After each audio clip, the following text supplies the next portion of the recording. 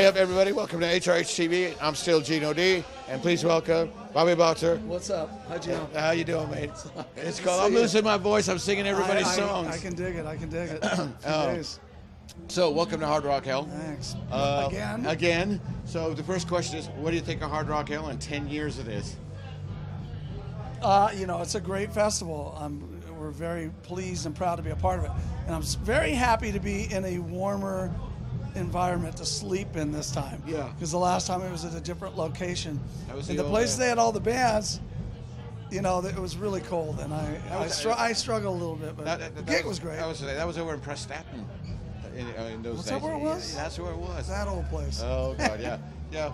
So, uh, Ratt back on the bill in the UK. Yeah, we've been out all year. This Yeah. is like, um, I want to say this is number 66 tonight. Yeah. And uh, it's just been incredible. It's been Yeah. unbelievable. Huge, huge uh, audiences and venues, and Yeah. it's been. Um, I can't explain it. It's almost like '84 again. You know. I was getting ready to say because you've been doing this a while. So, did you ever think you'd still be doing it? I don't even know how to answer that at this point. Um, no, I didn't because in, in the days when Ratt started, and I think most bands from the 70s and that sort of thing, and 60s, not the Rats from the 70s, but Yeah. nobody stayed together. You know what I mean? Yeah. Everybody broke up after seven years, eight years. That was the way it was. So now you just see so much work being done by the guys from the bands. A lot of guys aren't on the planet anymore. Some guys don't want to go.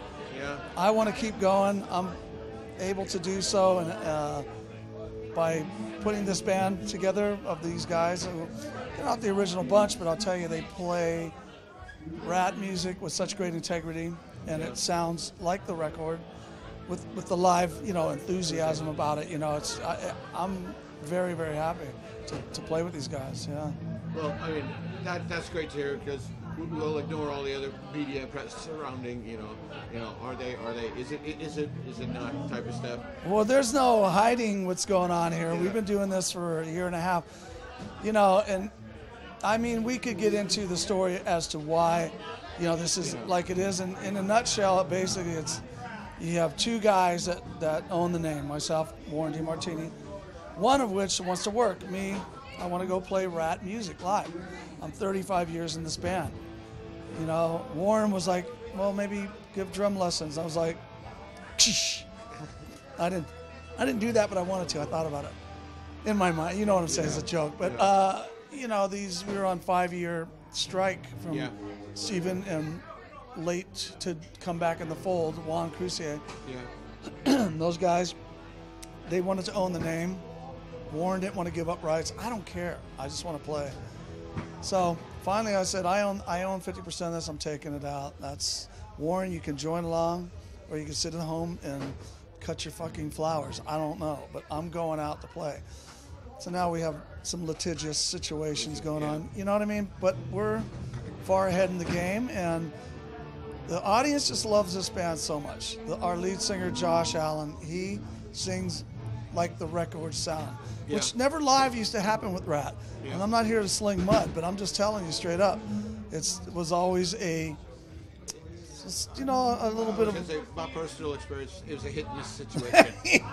That's being polite. Uh, no, you know, listen, man. I love the guys in Ratt. We made history together.